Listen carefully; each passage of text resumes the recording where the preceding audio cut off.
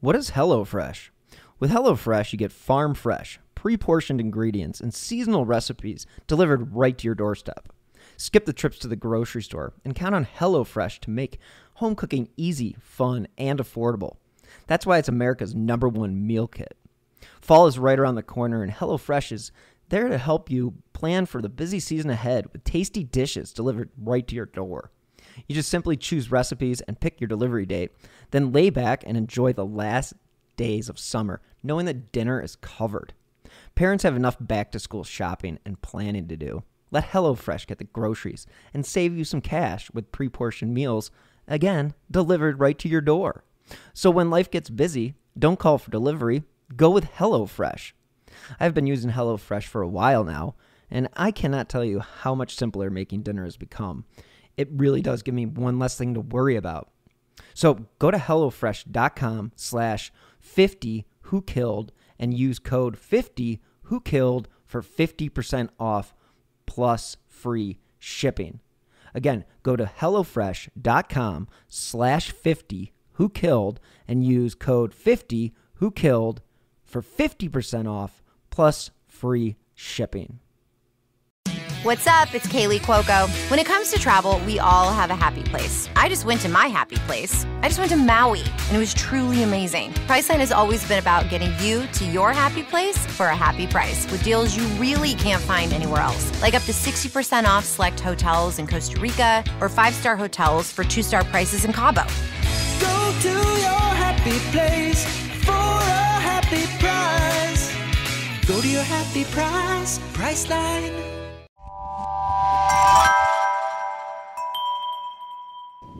Slow Burn Media, an evergreen podcast, presents Who Killed, a podcast that provides a voice for the voiceless.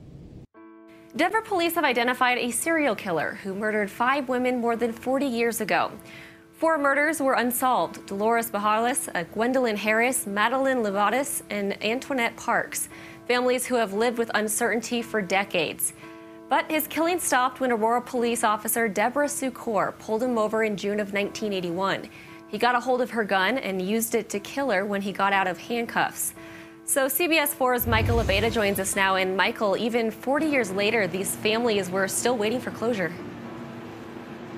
Yeah, Mackenzie, I spoke to the two remaining brothers of one of the women that was killed, and they say it is a relief to know this many years later what happened to their sister. Now, Denver police say Joe Michael Ervin killed the four women between 1978 and 1981. Those women are Madeline Livaday, Dolores Barajas, Gwendolyn Harris, and Antoinette Parks.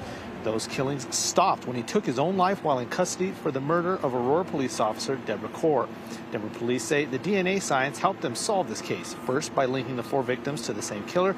Next, they used that DNA to find a living family member of the suspect. Next, they exhumed body of the suspect and used they exhumed the body of the suspect and used his DNA to confirm he had killed the four women. The daughters of Madeline Livaday and the brothers of Antoinette Parks were present at the announcement and spoke to the media. They say this has been a long time coming and a roller coaster of emotions. Hello and welcome to this week's episode of Who Killed. I'm your host, Bill Huffman, and this is a Slow Burn Media, Evergreen Podcasts, and Killer Podcasts production. I hope you guys have been well. As you know, there's always something new in true crime, as cases are solved every day and cases occur every day. So, since the last episode aired, I actually had a case in my neighborhood, or somewhat in my neighborhood. Actually occurred a few miles away where a 20 year old woman, Alexa Bartell, was driving in her car and she was struck by a rock and killed. Now, the rock had come through her windshield while she was driving down Indiana Street, and this struck her in the head and caused her vehicle to drive off the road. Now, she had been speaking with a friend on her cell phone, and this was around 10:45 and she just stu- suddenly stopped talking. So, once her friend wasn't able to get her back on the phone, she used a phone tracking app and was able to locate her vehicle. And this is the sad and tragic part is that she actually found Alexa and that she had been killed. And this was clearly a purposeful act as the police found the rock within the vehicle. And they had also received reports of other incidents the night of April 19th and 20th. But after a five day manhunt, I'm happy to say that multiple police departments and the Jefferson County Sheriff were able to announce that they had arrested three 18 year olds for the crime and charged them with first degree murder. So you might think that's a pretty hefty charge, but there are probably going to be more charges that are coming. So, since then, the investigators worked around the clock to identify and arrest these suspects. And this is according to a press release. And it's not clear which suspect was driving or who threw the rock, but apparently they all did. And according to the press release, quote, ultimately mobile device forensics and supporting information from the public helped lead to the identification and arrest of the suspects. In the hour before Bartell's death, six other cars had rocks a type commonly used in landscaping, thrown at them. According to authorities, two of the drivers suffered minor injuries. Lyft and Uber driver Nathan Tipton was uninjured after being targeted. Now, he did speak to reporters at a news conference this past Tuesday, and he said he was headed southbound on Highway 93, close to the Jefferson County and Boulder County lines, around 1015. He said, Quote, I saw two vehicles going northbound, but all I could see was the headlights. It was a dark road, he said. Quote, and then a large shatter. It sounded like a shotgun blast. It scared the heck out of me. He said he pulled over right away and saw that both driver's side windows of his minivan had been shattered. It's horrible. Somebody should not lose their child for a random act of whatever this is, he said. Quote, investigators were glad to ab- be able to notify Alexa's family and other victims of these arrests. This week's recognition of crimes victims' rights reminds us of the courage and resilience of crime victims, including the Bartell family. They are our motivation, the statement read.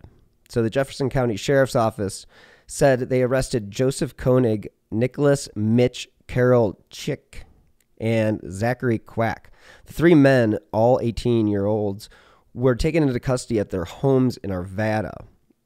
Could you imagine being the parent of one of these children and knowing that they just ruined the lives of fa- another family and then, well, their arrests ruin your family as well. So this is one of those things where uh, you really do not want to have some sociopathic child running around throwing rocks at cars. So, as the one victim stated, no one should lose a child in the way that Alexa was taken. And again, this has created the domino effect, as I had mentioned before. And again, this will play a role in all of these families' lives from here on out. So it's very unfortunate, but it's a very nice thing to see police departments working together to come together and solve a crime such as this because it was like pretty nerve wracking and it did cause concern because there's nothing more vulnerable than being on the road at night and you have no control. You can't see what other people are doing. So this is a good opportunity for the police to take care of what they uh, would what anybody would fear is just being vulnerable. So let's just uh, say kudos to the cops and uh, let's move on to uh, this week's episode. And this one's a kind of an interesting one because it does involve the Denver police again, but this is a case that is 40 years, eh, 40 plus years old. And it was in June of 1981 when one Joe Ervin was pulled over for a traffic violation. The police officer making the stop was unaware this would be her last. Aurora police officer Deborah Sue pulled Ervin over for a traffic violation while on patrol and attempted to handcuff him. But unfortunately, Ervin was able to get Corr's weapon and actually fatally shot her. According to the incident report, a 26 year old Aurora policewoman was shot and killed after she stopped a car on the suspicion that its driver was intoxicated. A 19 year old Explorer scout who attempted to assist the policewoman during the incident was injured seriously after he was shot and wounded during the altercation. Deborah Sue Corr had just finished her first year on the Aurora police force before she lost her life in the line of duty. Well, again, she was apparently trying to arrest the driver. She was overpowered and then was shot in the head and shoulder. Now, this is what kind of led police to one Joe Michael Ervin. And he was 30 years old at the time, and he was located at his Aurora apartment, and he was taken into custody for the slaying of this police officer. Now, it was later learned that Ervin was wanted on murder charges out of Fort, Fort Worth, Texas. And when the shooting occurred, he was actually out on bond awaiting trial in Denver for sexual assault, kidnapping, and burglary. So this guy was uh, not a winner. And the thing is, police had no idea that they had a serial killer in custody. And this would be a mystery that they wouldn't find out for another 40 years. According to the Bureau of Justice Assistance, last winter, police in Denver announced that they had solved the case, cold case murders of four women who had died about 40 years ago, all of whom had been the victims of one man, a previously unknown serial, serial killer named Joe Michael Ervin. From allthat'sinteresting.com, Irving was born on June 25th, 1951, in Fort Worth, Texas. He apparently killed his first victim before he was even 18. A, apparently was uh, at a bowling alley on August 8th, 1969, when he walked up to the driver's side of a parked car and shot a 21 year old in the neck before fleeing. The Tarrant County junior college student died four days later when Fort Worth police issued a statewide warrant for Ervin. Now, the killer had phoned Bonham's father upon hearing the news of his son's death and said he felt remorse. He said, I'm sorry he's dead, but we all have to go sometime. I'm sorry I shot him. Kind of an interesting character. So, in this Bureau of Justice report, Justice Assistance report, they say that the uh, Furey Livaditis a mother of two, was killed at her Denver home in December of 1978. Barajas was killed while walking to work in August of 1980. In December of 1980, Harris was found stabbed to death on a street corner about one block from Ervin's residence at the time.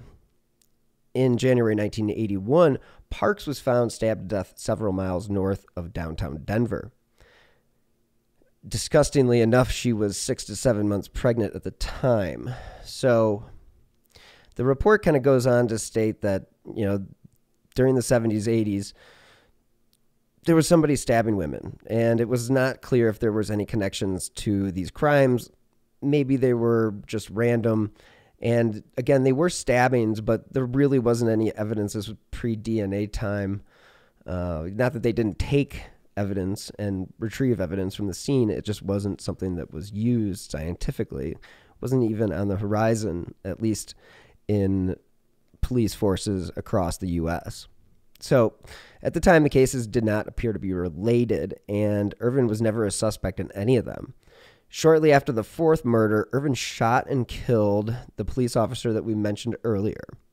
He then took his life in jail. So, when he killed himself more than 40 years ago, he was actually in jail for that shooting of the police officer. And he was indicted on first degree murder and attempted murder. He was found dead while in solitary confinement at the Adams County Jail during a routine check that evening. He did write a note confessing to Corr's murder before hanging himself. Now, Denver police did say that Ervin was a serial killer who also stabbed three women and a teenage girl to death. And those are the three women that we were just discussing. And these occurred from 1978 to 1981. Someone had stabbed Dolores Barajas, Gwendolyn Harris, Madeline Livaditis, as well as Antoinette Parks. And this, again, is one of those cases where you really don't know how big of a monster you really have in front of you, but with what you do have is a serial killer. And when he killed Deborah Sue Corr, that was actually the first police officer to die in the line of duty. And it is something that you really look at because she'd only been on the police force for a year. So, what cops were able to do within that 40 years is that they were able to link the four stabbing deaths by re examining DNA evidence between 2013 to 2018. The evidence began to point to a suspect when authorities located a relative in Texas. From there, authorities were able to exhume Ervin's body and they were able to find a match. Two brothers of Antoinette Parks said they believe the teen would have one day opened a daycare. Quote, she was young, vivacious, George Journey said, joined by brother Carl. Quote, she loved children. She was a good student. She was also pregnant and about to become a mother herself, according to Denver's television station KCNC. Parks was the youngest of six and a high school student in Aurora. She loved music, her family described her as caring, determined, and loved children. Now, her family also would go on to say that she would have probably worked in childcare. And uh, again, another life too young taken. And then you have uh, Madeline, who is a mother of two. And Irvin knocked on her door just randomly on December 7th, 1978, and just stabbed her to death. She was found in her bedroom. Now, she was a writer and an editor for the Ranger Rick magazine. Anybody who is a child from that, uh, heck, in the 80s, 90s, you know what Ranger Rick is. And you saw it at every dentist office and doctor's office across this country. So, interesting there, but it's another tragedy because the daughters, Molly and Ariel, said that Irving stole the life that they could have had with their mother. Quote, We didn't grow up with her and hear her stories and witness the contribution she would have made to the world. Now, she told this to CBS. Quote, Madeline grew up in Central Florida, one of five sisters, and was an avid swimmer, continued to swim throughout her life. She attended high school in Florida and graduated from Tulane University. Prior to getting married, she had led an adventurous life, traveling to Africa and Europe as part of her work as an editor on the beloved children's magazine Ranger Rick. Now, this is from a statement from her family. Uh, the statement continued, quote, her greatest joys in life came after the birth of her two daughters, whom she cherished beyond anything. She was a loving wife and a mother of two at the time of her death. Now, the Livaditis families and the Fury families are grateful for receiving answers after all these years, and they express their gratitude as they continue to put, you know, work in by all the individuals in this case. And so, Denver police spokesman Doug Schepman said Barajas and Harris's families live outside Colorado, but did have statements to share. Quote, Dolores Barajas was a wife, mother, grandmother, and a beloved part of a loving family according to the family statement. And this was according to the ABC affiliate KMGH. And Barajas was actually visiting her family in Denver this summer that she was killed, and she was working at a hotel downtown. The Sunday she was killed was actually supposed to be her last day before she had returned home, according to her family. And they also expressed appreciation for all those who helped solve the case. And this is according to the press release. Harris was a mother, a sister, daughter, aunt, granddaughter, and niece, according to the police department. Harris was found stabbed to death in December 1980 when she was 27 years old. Harris was last seen at a lounge in downtown Denver, just a block away from where Irving lived. Now, Gwen was a bright, soft spoken, athletic young woman who enjoyed life, always had a smile on her face. And cops said that while relating the thoughts of her relatives, that her family also shared that because of the decision of another to take life with no regard, the 1980 murder of Gwendolyn Harris was devastating and unimaginable to the family. Gwen will forever be in our hearts and always our joy. Glenn Spies, 19, he was the one who actually came across the fatal encounter between Officer Corr and Ervin and he was actually in the Aurora's Police Explorer program and was driving home after his shift. So it's kind of interesting. And, uh, you know, he goes on to say that I pulled behind her car. I got out and I tried to assist the officer, at which time I heard her scream for help. And this is according to K- uh, KCNC. I heard gunfire and tried to duck behind the patrol unit. He shot me and I fell to the ground. The bullet shattered near his spine. Spies still struggles to walk today, and the television station reported that he does not regret making the fateful decision to intervene all those years ago. Quote, that's part of me, he said. Quote, I love to help people out, and I would do it again. So I want to read to you a BJA report. And again, this is the Bureau of Justice Assistance. Now they asked the question, quote, how, after so many years, was the truth uncovered? According to the report, it took years of old school police work and a cutting edge investigative technique called forensic gene- genetic genealogy. We've discussed this many times. It took the combined efforts of law enforcement in Colorado and Texas, along with the support of the Bureau of Justice Assistance, which used two different grants to help crack the case. The Denver Police Crime Laboratory linked the four cold cases using DNA evidence between 2013 and 2018. After conducting a familial search, the crime laboratory identified Irving and exhumed his remains in Texas for a direct DNA comparison to the crime scene evidence. And it took the efforts of two determined investigators, Detective Kerry Johnson of the Denver, Colorado Police Department, and Dr. Angela Williamson, the forensics unit supervisor at BJA, who recently shared this story on this Justice Today podcast. So if you guys want to learn more, check out Justice Today and look up the case that we are discussing of Joe Ervin. And Dr. Williamson and Detective Johnson became involved in the J- Joe Michael Ervin case about four years prior to this press conference. Now, Detective Johnson inherited an open investigation when she joined Denver's cold case squad in 2018. DNA evidence had linked the four murders to a single perpetrator, but years of police work had eliminated all known suspects. That was when Detective Johnson's team began to use the familial genealogy, and that is when they were able to um, get them start narrowing things down. So, quote, for so, quite some time now, genealogists have been using publicly available ancestry databases. Dr. Williamson had told Justice Today.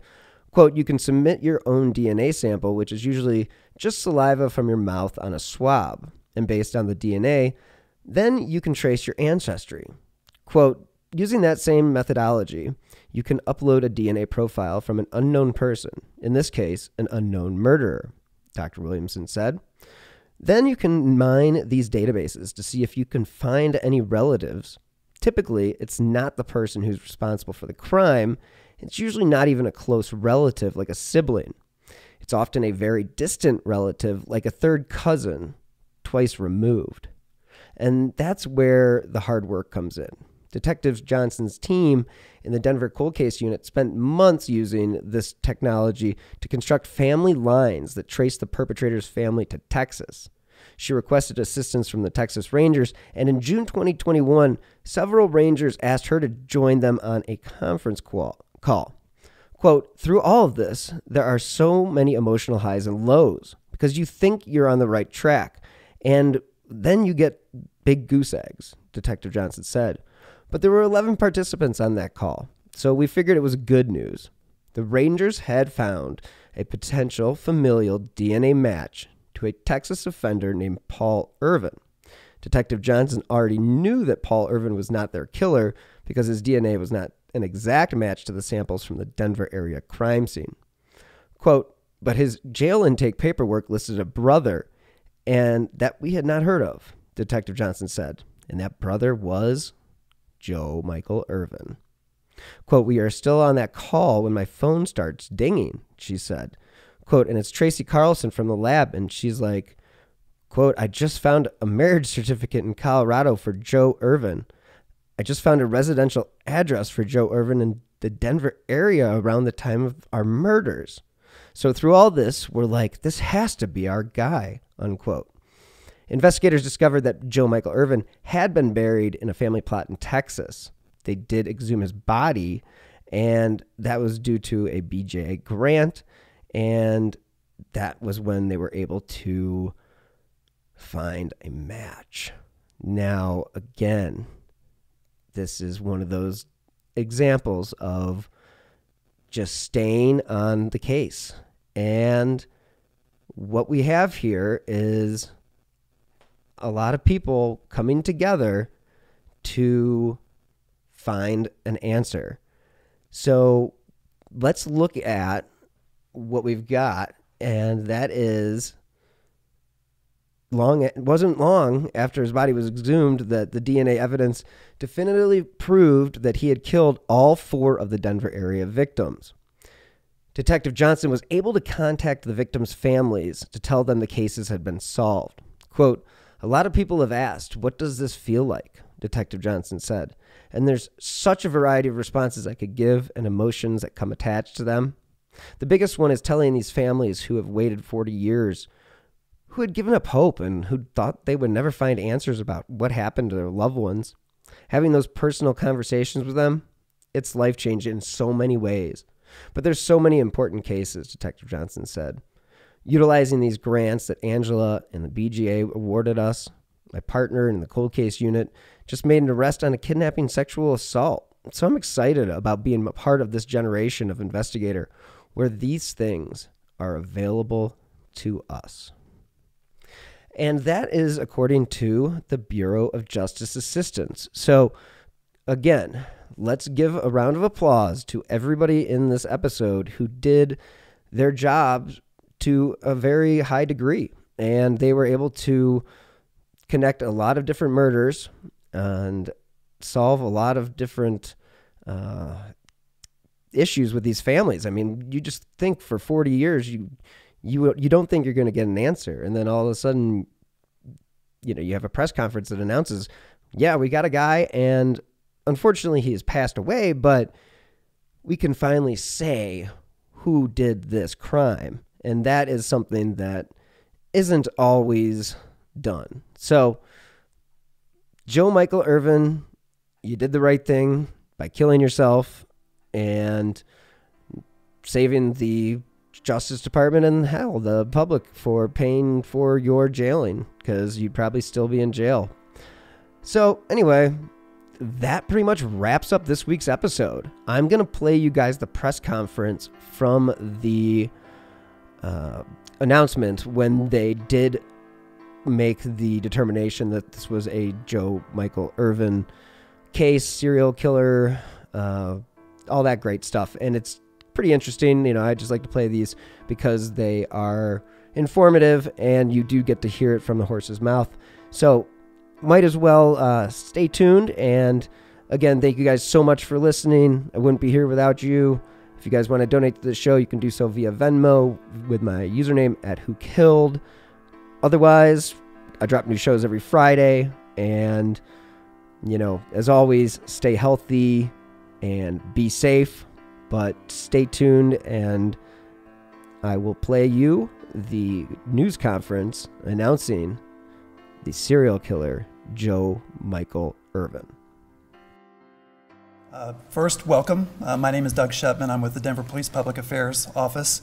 And I uh, um, want to thank you all for being here for this announcement regarding the identification of a suspect in four cold case homicides, uh, three of which occurred in Denver, one of which occurred in Adams County between the years of 1978 and 1981. Uh, before introducing our speakers, um, we want to extend our condolences to the families of the victims who were able to be here with us today. Um, also want to acknowledge the partner agencies that contributed to the successful closure of these cases. Uh, it's a long list. Um, uh, we have a number of agencies represented here today. I'll just go in alphabetical order. Uh, we have the Adams County Sheriff's Office, the Aurora Police Department, Colorado Bureau of Investigations, Denver Department of Public Safety, Denver District Attorney's Office, Denver Police Cold Case Unit, Denver Police Crime Laboratory, Forensic Biology and DNA Unit, Metro Denver Crime Stoppers, and the U.S. Bureau of Alcohol, Tobacco, Firearms, and Explosives Denver Field Division. Other partners who assisted but who are not represented here are the Federal Bureau of Investigation, Denver Division, Texas Department of Public Safety, Texas Rangers, Tarrant County, Texas Sheriff's Office, and the University of North Texas Forensic Center for Human Identification. It's a long list of partners, which I think speaks to the expansiveness of the investigations that helped us to come to the closure of these cases. With that, I'll introduce Commander Matt Clark from the Denver Police Major Crimes Division section, uh, who will share information about the cases as well as the investigations.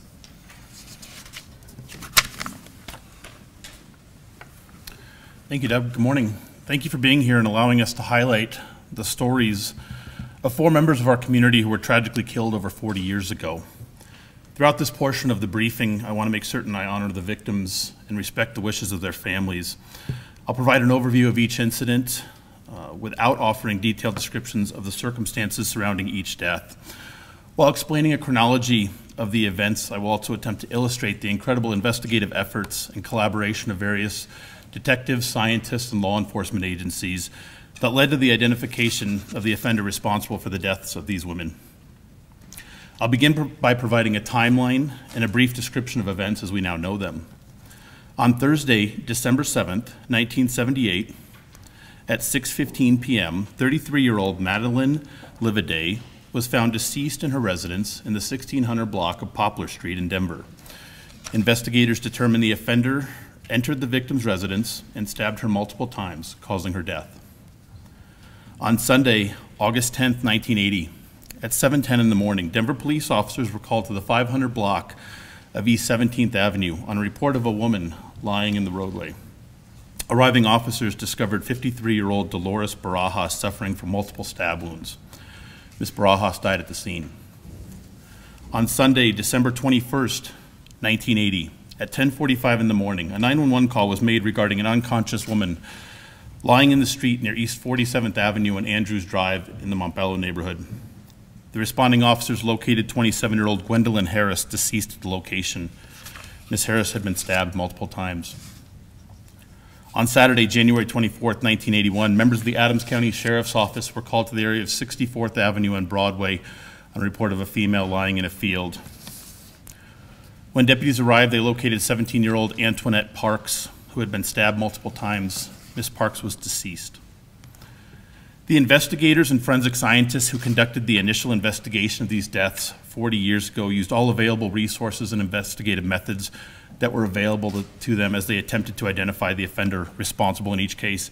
They spent a tremendous amount of time on these investigations, following leads and questioning potential suspects.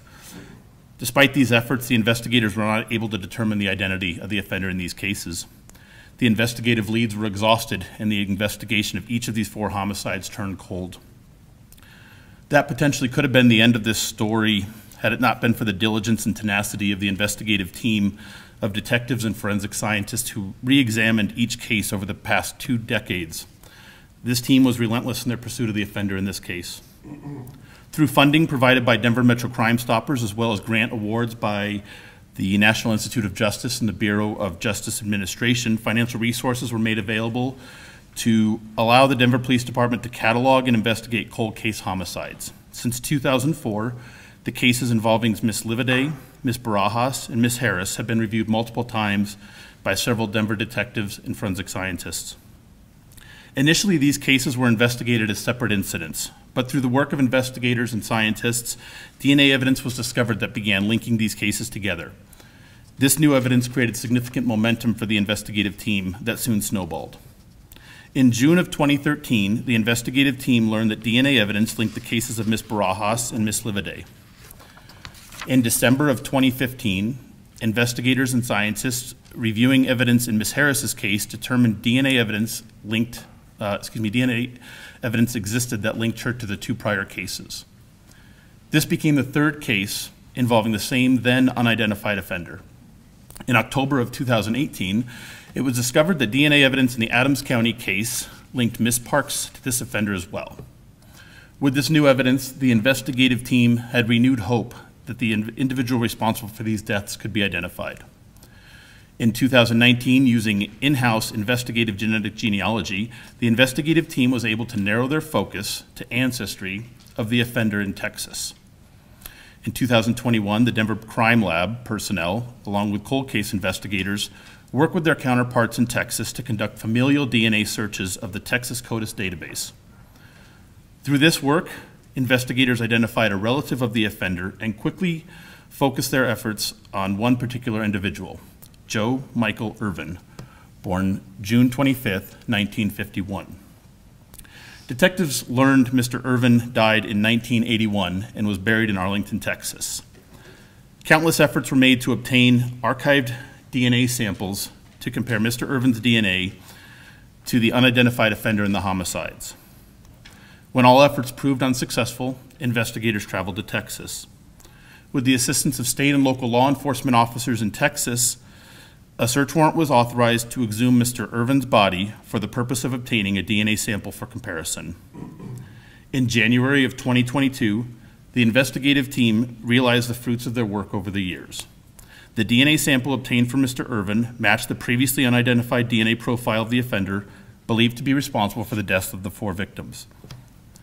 No other victims are believed to be involved, uh, excuse me, no other suspects or offenders are believed to be involved in the deaths of these individuals. The new investigative approaches, coupled with advances in technology, made it possible to ultimately identify the offender in these cases. I appreciate the patience and resilience of the families and the community over the past 40 years as these cases remain unsolved. These women were not forgotten. I'll conclude uh, by expressing my sincere appreciation and uh, pride in the investigators and scientists that worked on these cases over the years. They invested a tremendous amount of time, emotion, and energy to bring closure to these cases. And each member of the investigative team made a meaningful contribution to each of these cases that ultimately resulted in the resolution of them. Thank you.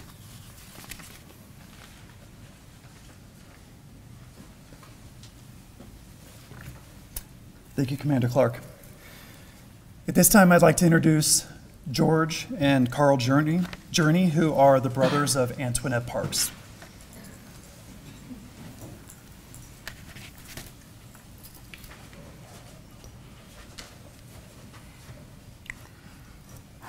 Well, first of all, I'd like to say this has taken a long time. We can finally have peace knowing who did this to my little sister. Uh, me and my brother are the only re remaining siblings of six children. I wore a shirt today in memory of all my siblings. And I lost these two sisters, they were the oldest. One in 2018 to a car wreck, First and Knox here in Denver. The second one died from heartbreak from the car wreck. Um, my, of course, you guys know my little sister Antoinette died in 81. And my little sister Rhonda, who was her, she passed last year, September 9th, to cancer. So with that being said, I'd like you guys to know we have closure. We're thankful for the hard work, determination, of everybody involved here. I wish my sisters and my mom could all be here to see this. Fortunately, they didn't live long enough to see this, but I know they're here with us in spirit. And I want to say thank you guys for all coming to take the time to listen to us. Hello, my name is Carl, and uh, you know, like my brother said, you know, it's been a long time coming, and now we can actually you know, really rest better at night. Like I said, the rest of them, they're not here. like I said, if my mom or my sisters were here, but I know they are because they're sitting high and looking low. And they're saying right now, hey, thank you guys, every last one of you, for everything. Anybody had anything to do with this, believe me, they're saying thank you and God bless you all. Thank you.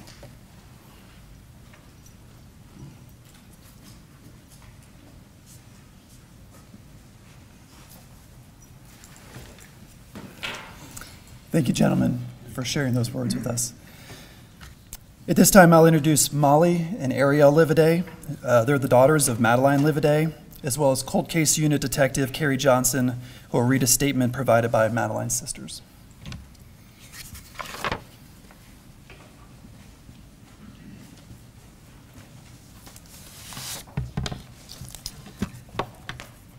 Good morning.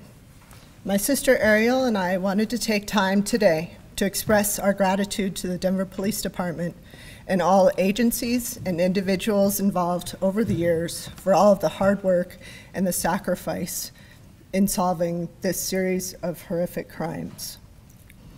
We are here to talk about our mother, Madeline Furey Livaditis. She was a young woman with a very bright future. She was a writer. She had written for Nature magazines for years and had written and published a book. She was an ecologist with a passion for the natural world and the environment. She was a loving wife, sister, daughter, and mother to two very young girls. But in 1978, she had that bright future ripped away from her. Tragically, we didn't get to grow up with her and to hear her stories and to witness the contributions that she could have made to the world. It's been a lot of information to absorb so suddenly after all this time. We found out that this man murdered four more women and he assaulted an uncounted number of others. In addition, to learn about the line of duty death of Officer Deborah Sue Corr has been personally very impactful. She was out doing her job when she attempted to arrest this serial killer for an unrelated crime. And in the course of his arrest, she was murdered herself.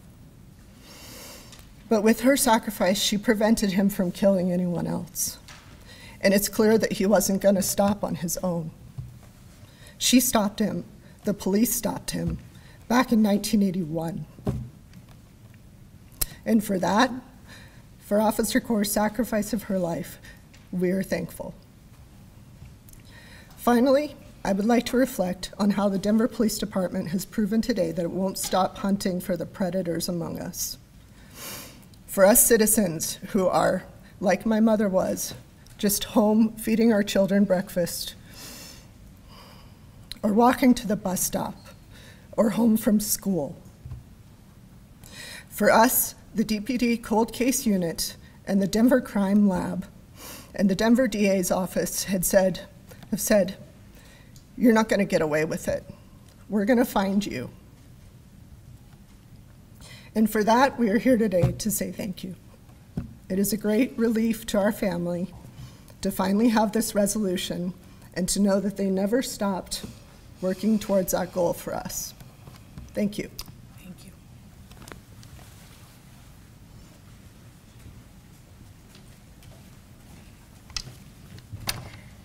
Madeline's um, sisters are all out of town and asked me to extend this statement on their behalf. So, on behalf of Eileen Furey Roy, Tess Furey, and Megan Furey Kinney, Madeline had a vibrant and curious spirit. She was fearlessly adventurous and loved traveling as part of her job as an editor of the children's magazine Ranger Rick. She loved learning. Every elementary school report card had a notation saying something like, excellent student, but talks too much. Madeline was fun, and she delighted in her daughters Molly and baby Ariel.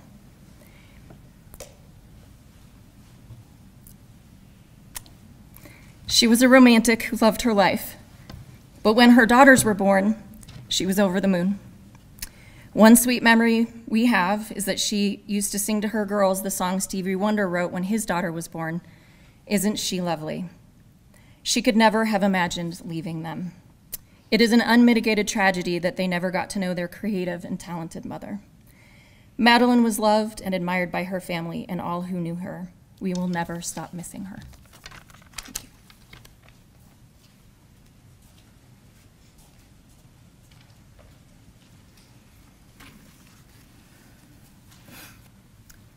Again, thank you for sharing with us here today who your mom was and why she was so loved by your family and others, especially under these difficult circumstances. Again, we appreciate that. The families of Dolores Barajas and Gwendolyn Harris live out of state. They requested privacy as they processed the developments in, this, in the case, but shared with us these messages that I'll read. Dolores Barajas was a wife, mother, grandmother, and a beloved part of a loving family. She had spent the summer of 1980 visiting family in Denver and working at a hotel downtown. That Sunday was to be her last day of work before returning to her home out of state. Her family still misses her very much and expressed great appreciation for everyone's efforts and determination in solving this case.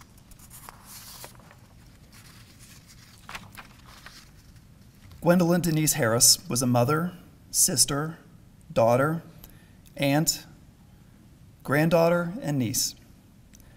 Gwen was a bright, soft spoken, athletic young woman who enjoyed life and always had a smile on her face. Her family also shared that because of the decision of another to take life with no regard, the 1980 murder of Gwendolyn Harris was devastating and unimaginable to the family. Gwen will forever be in our hearts and always our joy.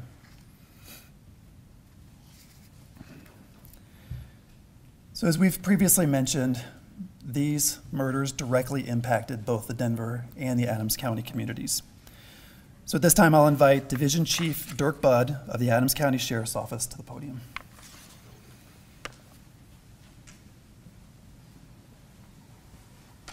Good morning.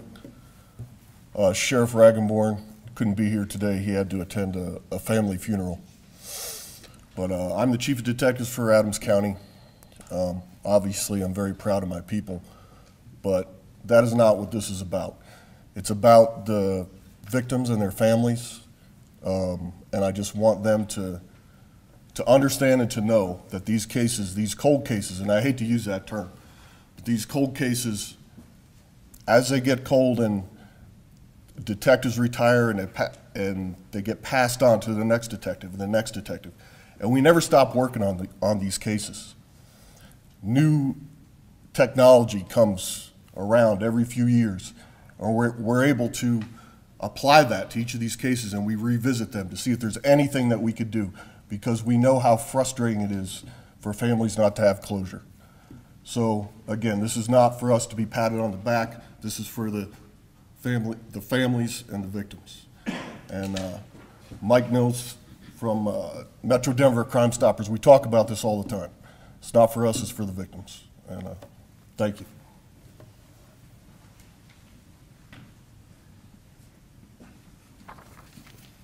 Thank you, Division Chief Budd.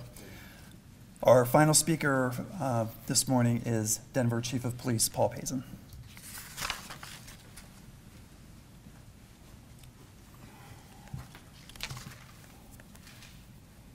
Good morning. Well, the closure of these four cases is a success for our department and our community.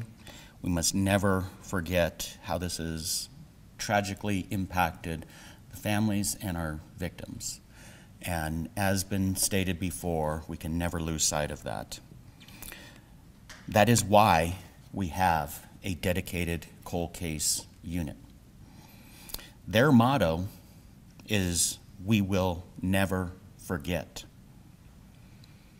That is why we have a world class crime lab with forensic scientists, professional staff, dedicated individuals to bring closure to families, to help families in cases like this. As you heard today, our team did not forget Dolores, Gwendolyn, Antoinette, or Madeline. We thank each of the agencies that have been involved and all of their hard work the investigators, the forensic scientists, and everybody who contributed on this case for the past four decades. And while the perpetrator cannot fully be held accountable for his despicable actions, we hope that knowing who is responsible can bring some peace to the families. We are committed to using technology to solve more cases but often there is witness information out there that can help, that can help other families. So today, not only do we remember the victims and their families, but we also have a call to action. A call to action. There are witnesses out there that can help us solve additional murders, that can help families uh, from the great harm that has been uh, committed to our community. Therefore, my plea, my ask, is that if you have any information on any homicide or crime, please come forward. You can do so anonymously utilizing Metro Denver Crime Stoppers. We need to help more families in our community. I do want to thank Metro Denver Crime Stoppers, which generally which generously contributed $5,000 in grants to the DPD for testing and research. Uh, their work has really helped us not only solve uh, this particular case, but several uh, cases. They've donated $41,000 over the years, and uh, it has been very helpful in 16 uh, cases. So, uh, Mike Mills, president of Metro Denver Crime Stoppers, thank you. We appreciate it. Um, now I'd like to close just by saying, let us never forget these victims. And with that, we'll open it up for questions.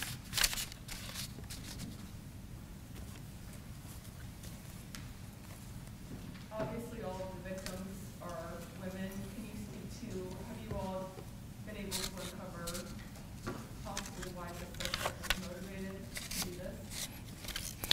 Uh, I'm going to bring up Major Crimes Commander Clark up to talk about that. Um, without getting into the details of this, uh, there is an underlying sexual component to these uh, incidents.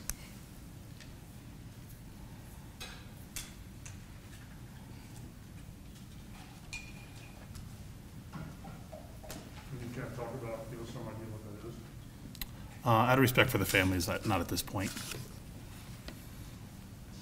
Sir, would it be fair to call this person a serial killer? Yes, we would classify him as such. And I know this is gonna sound like a dumb question to see, that everything we've seen here today, and how this has affected the families, and helped them find closure, but why do police officers and police, why do you continue to try to solve these cases years and decades on? Well, as evidence uh, in this case, these uh, this offender continued his uh, criminal behavior, and uh, we have to continue these investigations. We have to continue to pursue these individuals to interrupt them and, and, and prevent them from victimizing anyone else.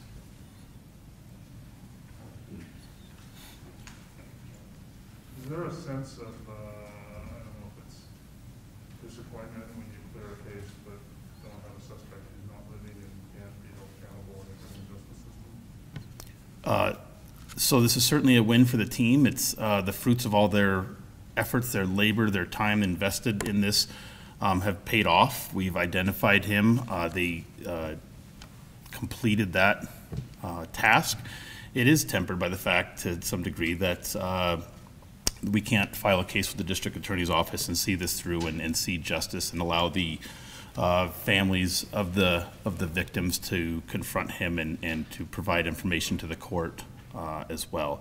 Um, but it's still a success. It provides uh, a closure, uh, we hope, for the family. It hopefully demonstrates to our community that we don't stop investigating these cases. Um, we don't forget, and, and going back 40 years uh, is, a, is a big win. I've heard such positive things about Detective Carrie Johnson from some of the families. I don't know if she'd be willing to answer this question, but I would love to hear from her and what it meant for her as a woman to help shed light on the suspect who brought four women of their lives. I'll let Carrie address that.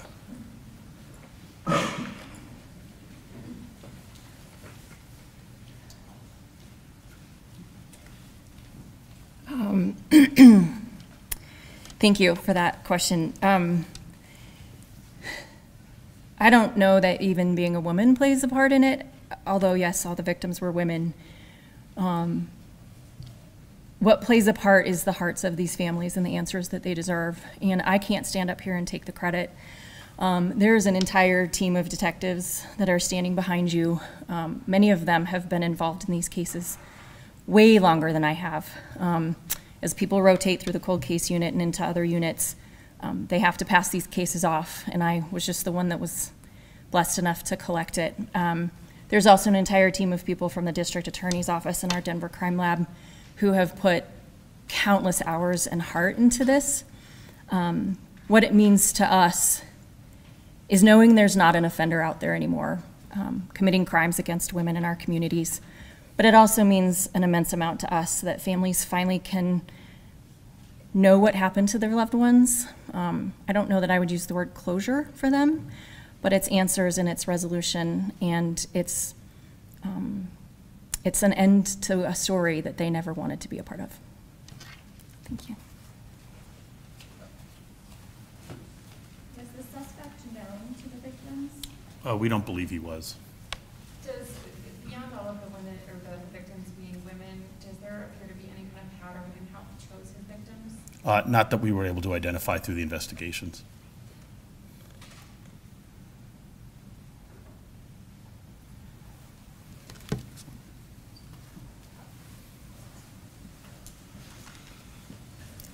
So again, thank you all very much for being here. Uh, for those who have worked on these cases, thank you again for all of your efforts. And again, for uh, the family members who were able to come here today, be with us, and share their stories, thank you very much. Women's Running Stories, where we explore the intersection between running and life. Because every woman who is committed to a running journey has a story to tell, and this is where you'll find those stories. I am host and producer Cherie Louise Turner. I'm a 53 year old runner, and together with original music by musician and runner Cormac O'Regan, we bring these inspirational stories to life. Please join us to fuel your adventures. Are you tired of seeing your teen or young adult struggle on a path that clearly isn't the right fit? Is your teenager confused about which direction to take after high school?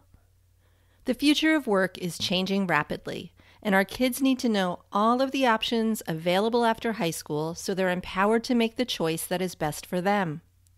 In each episode, we explore the latest trends that are shaping the opportunities of today and tomorrow. I'm your host, Betsy Jewell, and this is the High School Hamster Wheel Podcast.